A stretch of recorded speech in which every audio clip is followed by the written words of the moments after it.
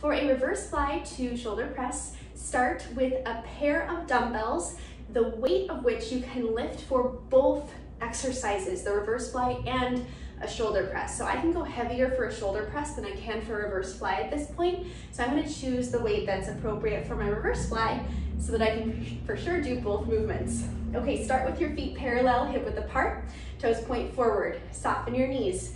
From here, hinge at your hips, booty goes back, back is flat, draw your shoulder blades together. We're gonna open our arms and raise them to the side by driving our shoulder blades together, squeeze tight, through your shoulder blades, lower down with control, stand it up, squeeze your glutes, curl the weights up to your shoulders, press the weights overhead.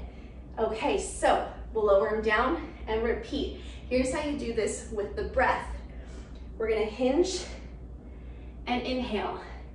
Exhale, fly. Inhale, lower. Exhale, stand. Inhale, curl. Exhale, press. Inhale, lower down. Exhale, back to start.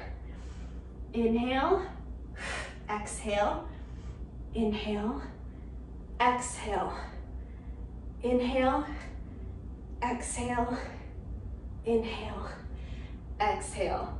Keep practicing this. I know it's a lot of movements. If you don't get the breathing down just right just yet, that's okay. Keep moving through it. Once you get the form down, the breathing will come with it. Let me show you from the side just real quick.